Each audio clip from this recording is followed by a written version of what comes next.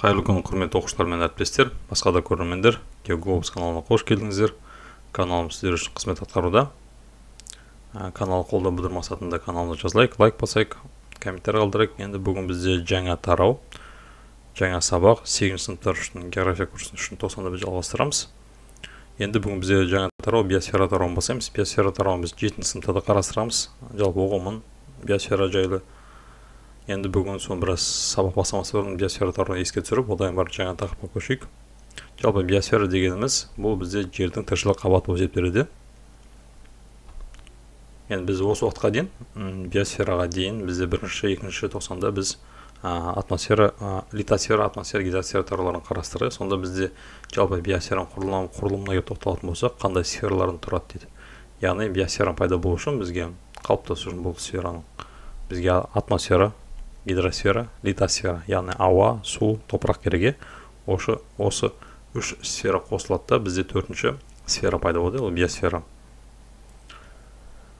Жақсы келесі. Енді биосфераның шекарасын анықтап көрейік. Біз бос орындар тиісті қабат атауларын жазды. Видеоны пауза қоя тұрып атауларын жазып шығады мен биосфера шекарасы қай жерден таралып қай жерден анықталады. Енді мында суретте берілген бос орындарға және тиісті жауапты жазуға болады иә мында қарайтын болсақ енді жалпы жауап тексеретін болса бізде бірінші жоғары жақта берілген бұл стратосфера иә атмосфераның және екінші қабат болып есептеледі келесі озон қабаты берілген мына жерде бізде литосфераның жоғары қабаты кіреді екен гидросфера толығымен кіреді мантияның жоғары бөлігі көрсетілген енді жалпы қарайтын болсақ бізде таралған биосфераның шекарасы яғни осы сызықтар аралығында ақ сызықпен берілген аймақ бізде биосфераның таралған аймағы болып есептеледі шекарасы яғни литосфераның жоғары бөлігін алады екен.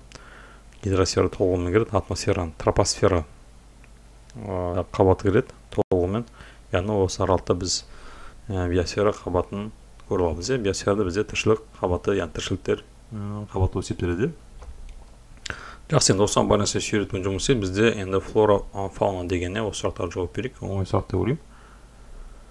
Енді бүгінгі сабақтың тақырыбына көшейік. Бүгін біз жаңа тақырып бастаймыз. Табиғат зоналары мен биіктік белгілердің қалыптасуын. Жалпы сегізінші сыныпта талдаймыз иә? Жалпы табиғат зоналар қалай қалыптасады одан биіктік белгілер қалай қалыптасуын бүгінгі сабақта зерттеп қарастырамыз. Бүгінгі сабақта қарастырған мәселелер ол табиғат зоналары мен биіктік белгілердің қалыптасуын талдау. Екіншісі табиғат зоналарын картада ажырата алу карталар міндетті түрде керек. Атлас сол бойынша біз талай жұмыс жасаймыз. Одан әр материкте орналасқан ұқсас табиғат зоналары мен биіктік белгілерді салыстыру табылады иә жақсы енді жалпы қойылатын сұрақ елімізде қандай табиғат зоналары бар? Енді біз білеміз қазақстан климат деген бізде қоңыржай климаттық белдеуде орналасқанын біз айтамыз иә одан кейін шұғыл континентальды климат деп айтамыз. Енді бізде елімізде аумағы үлкен болғандықтан бізде де табиғат зоналары кездеседі. Бірнеше табиғат зоналары. Сол егер де білсеңіздер жауаптар жаза кетіңіздер иә. Енді сол зоналардың таралу ерекшелігі қандай? Климаттық белдеу мен табиғат зонасының ұқсастықтары мен айырмашылықтары қандай? Осыны осы сұрақтар бойынша егер де жауаптарыңыз бар болатын болса жаза кетіңіз. Егер болмай жатса түк өтпейді сабақтың соңына дейін тыңдаймыз. Одан кейін барып сабақтың соңында және меңгерген ақпарат бойынша жауап беруге болады жалпы бізде бүгін климаттық белдеу мен табиғат зоналарын бір салыстырамыз. Климаттық белдеу бойынша біз тақырыпты екінші тоқсанда өткенбіз атмосфера тарауында. Яғни ол бізге таныс тақырып. Енді бүгін біз табиғат зонасымен бірге өтіп салыстырамыз. Жалпы бізде климат белдеу және табиғат зонасы деп аталады иә? Климат белдеу бойынша біз жаңағы есімізге салатын болсақ жаңағы біздегі негізгі климаттық белдеулер оны өтпелі климат белдеулер болып бөлінеді ғой. Негізгі климат белдеулері жаңағы арктикалық қоңыржай одан кейін жаңа айтатын болсақ тропикалық климат белдеу экваторлық климат белдеулері болып есептеледі төртеуі. Ал өтпеліге жаңағы алдында суп деген жалғауы бар. Мысалы субтропикалық субэкваторлық субарктикалық субантарктикалық деп бөлінеді осындай климат белдер болып табылады енді салыстырып көрейік екеуін екеуінің қандай айырмашылығы бар? Жалпы климаттық белдеуде біз қандай ақпараттарды қандай критерийларға неме істейміз қандай ақпараттарды қарастырамыз? Мысалы климат белдеу температураны қарасам қаңтар және шілде айындағы жауын шашын мөлшерін атмосфералық қысымды қарастырамыз қандай ол климат одан ауа массалары қандай басым болып келеді өткен сабақта біз айттық қой мысалы негізгі климат белгілері тек бір ауа массасы басым болып келеді мысалы қоңыр, қоңыржай десек экваторлық тропикалық десе онда бір ауа массасы ғана басым, басым болып келеді ал суб деген субтропикалық субарктикалық онда екі ауа массасы басым болып келеді оны екі мың тоқсан видеосынан көруге болады сол жерде толығымен түсіндіргенмін келесі климат типі қандай екен? Бұл жерде яғни біз білеміз де климаттық белгілер үлкен аудандар алып жатады. Сол себептен олар климат типіне бөлінеді. Мысалы қазақстан континенталь болып есептеледі мысалы қоңыржай белдеуде орналасады шол континентальды ал еуропа аймақта қоңыржай белдеуде орналасқан ол жақтың климаты теңіздік болып есептеледі. Ол осыны айта кетеміз климаттық типі деген. Келесі үлкен аудандарды алады екен. Жаңа айта кеткендей. Жақсы енді келесі қарастырайық. Табиғат зонасына біз температурасын қарастырамыз. Климат карта арқылы қаңтар шілде айындағы ұқсастықтар бар екен иә жауын шашын мөлшерін қарастырамыз. Ұқсастықтар бар екен. Так келесі ылғалдық коэффициент дейді. Мынау өзгешелеу иә? Оған жеке түсіндіремін одан топырақтың түрлерін қарастырамыз. Яғни қандай гумус мөлшері және топырақтың қай түрі таралған бұны біз арнайы дүниежүзінің топырақ картасын анықтаймыз иә? Сол жаңағы табиғат зоналар картасын салыстыра отырып ары қарай өсімдіктері жануарлары және климаттық белдеудің ішінде орналасады. Табиғат зонасының территориясы кішірек болып келеді ол әрдайым жаңағы климаттық белдеудің ішінде орналасады иә. Яғни климат белдеу үлкен аумақты алып жатады соның ішінде жаңағы әр аудандарында және табиғат зоналары қалыптасады. Былайша айтқан кезде табиғат кешенімен сәйкес келеді. Енді табиғат зоналары қалай қалыптасады дейді енді.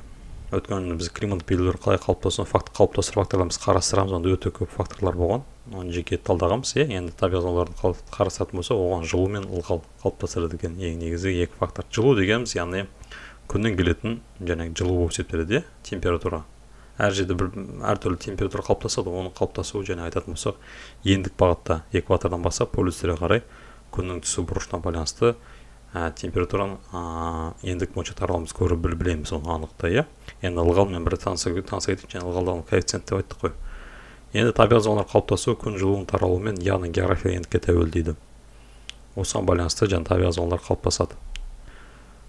Жалпы ылғалдану коэффициенті дегеніміз не? Ол жылдық жауын шашынның мөлшерінің булану мөлшеріне қатынасы дейді. Мысалы көрсеткіштер бойынша мысалы коэффициенттер бойынша бірден артық болатын болса ол ылғалдығы артық зона бірден кем болатын болса ылғалдығы тұрақсыз. Нөл бүтін оннан бірден кем болатын болса ылғалдығы жеткіліксіз. Тең болатын болса ылғалдылығы қолайлы болып есептеледі екен бұндай ылғалдық коэффициенттерді біз жәнегі қазақстан территориясы бойынша бүкіл әлем бойынша қарастыруға болады ылғалдығы жеткіліксіз жерлер ол көбінесе шөлді аймақтар болып есептеледі ылғалдығы тұрақты немесе артық болатын болса ол жәнегі экваторлық ормандар немесе тайга солар болуы мүмкін. Жақсы енді бізге қазір есеп беріледі. Есеп бойынша ылғалдану коэффициентін есептеп көрейік. Мұнда бізге тапсырма берілген.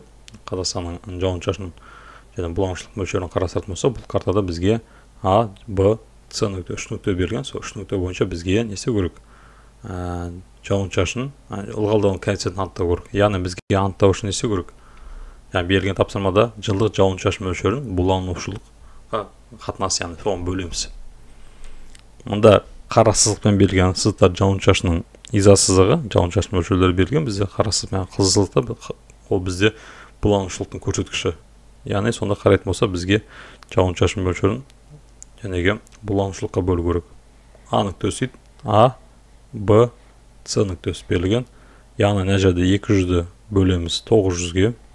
Адам б нүктесінде яғни екі жүзді біз бөлеміз мыңға бөлеміз. Келесі с нүктесінде біз 400-ді бөлеміз 600-ге сонда бізде ылғалдану коэффициентінің мөлшері шығу керек. Көрсетілген тізімге байланысты.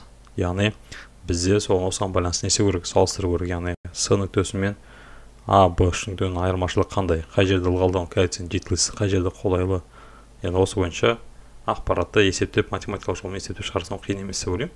Есептеу жақсы енді бүгінгі сабақтың негізгі тақырыбы табиғат зоналары деп қарастырдық иә яғни анықтамасына тоқталатын болсақ ол табиғат кешендерінің климаттық жағдайына қарай экватордан полюстерге қарай өзгеру табылады.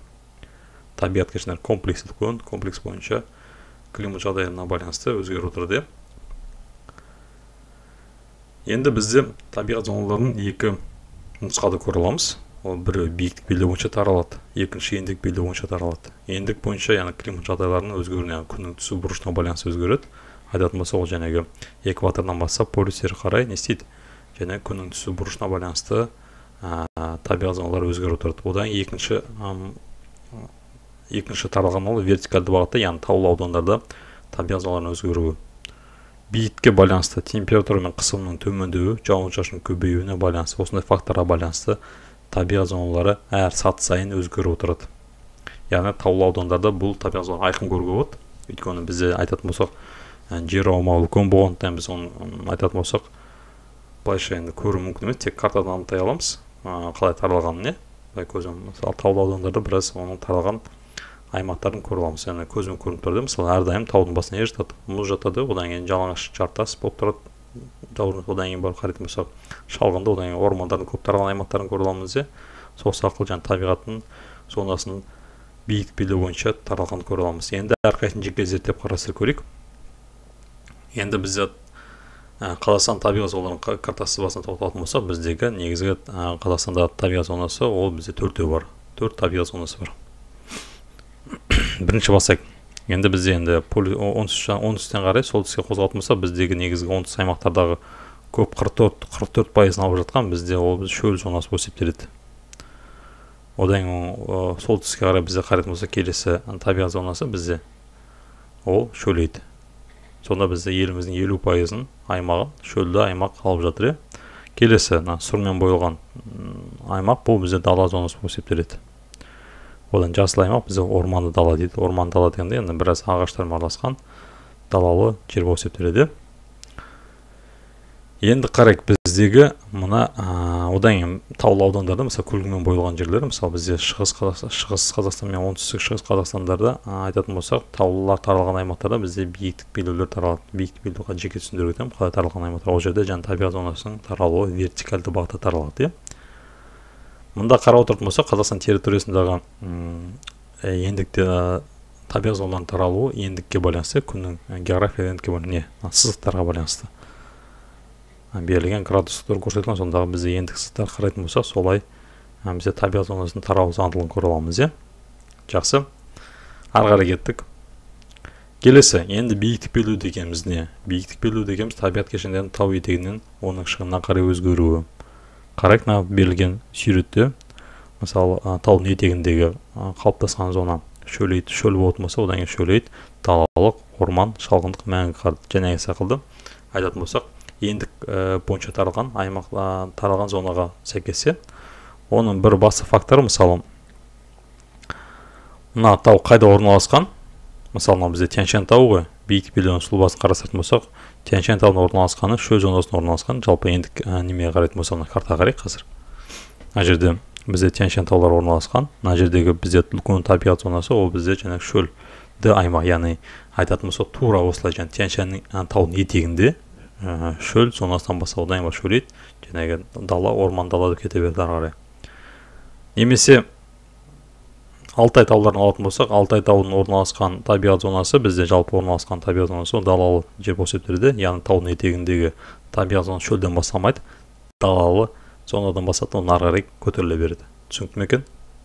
Тарбатайды қарайды тарбатайдікі мысалы таудың орналасқан жер шөлейт дейді. Шөлейттен басталады оны ары қарай дала деп кетеді. Яғни қай ә, таудың орналасқан мысалы қай зонадан болатын болса етегі таудың етегінде және биіктік белдеу бойынша таралған табиғат зоналары сол ә, зонадан басталады.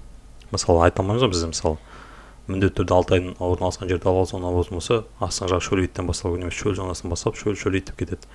Ол кейін яғни орналасқан зонасына байланысты биіктік белдеу қалыптасады. Міне көріп отырған мынау бізде тянь шаньдікі келесі алтай тауын қарайық. Мына алтай тауы немесе берілген бізде биіктік белдеу төменгі жағын қарайтын болсақ бізде далалы белдеуден басталатынын көріп отырғандай одан орманды дала одан орман белдеу одан субальпілік альпілік одан мәңгі қар деген сақылды. Жаңағы бізге полюске бара жатқан кезінде бізде күн суытады сол сақылды ә, биіктік белдеу бойынша вертикалды бағытта табиғат зоналарының таралуын көріп тұрмыз иә жақсы.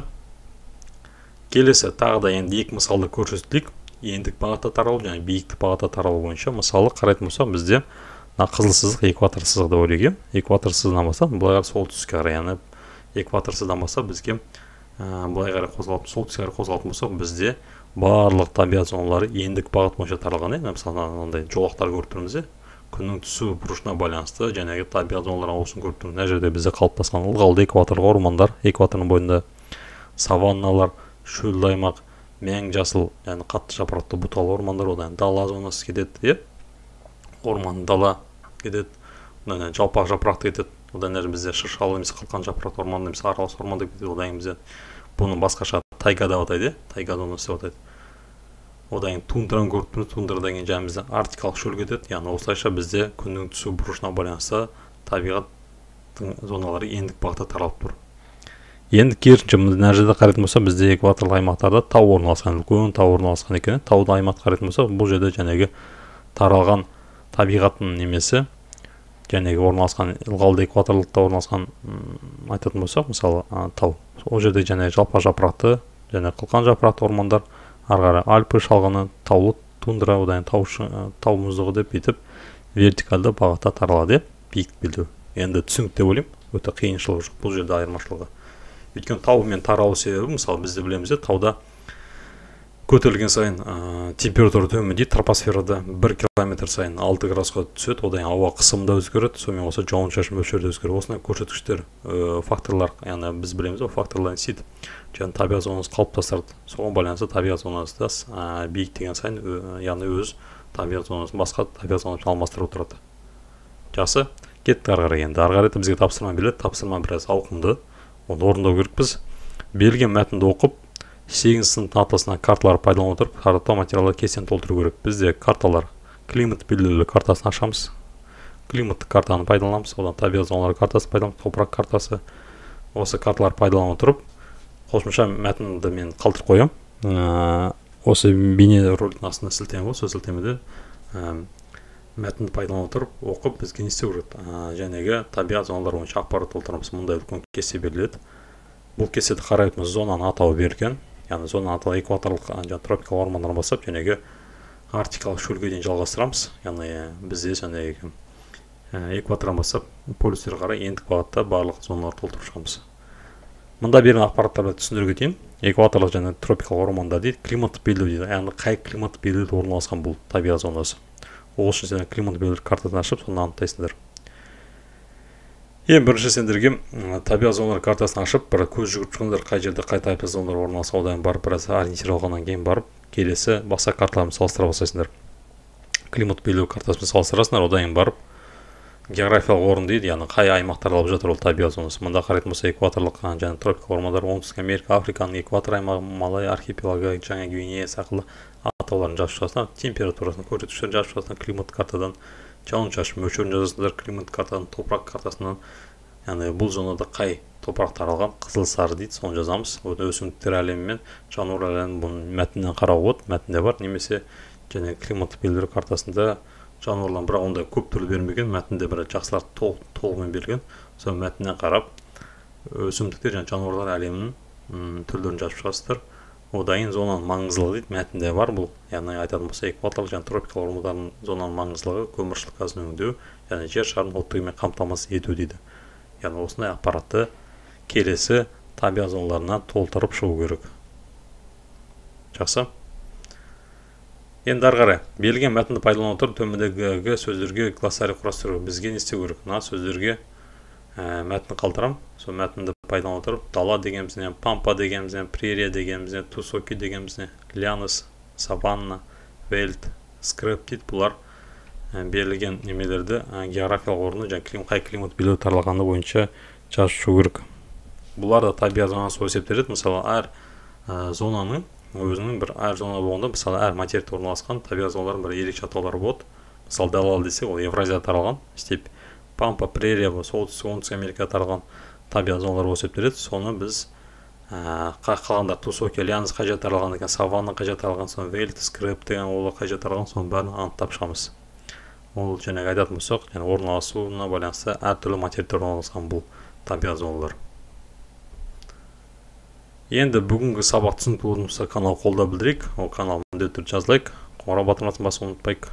Лайк комментарий қалдырамыз осы бүгінгі ақпарат бойынша басқаларыңызбен бөлісеміз. Nazarlarınıza rəhmət